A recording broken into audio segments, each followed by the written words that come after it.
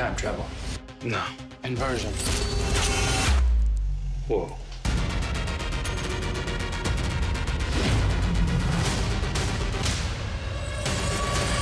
Tenet.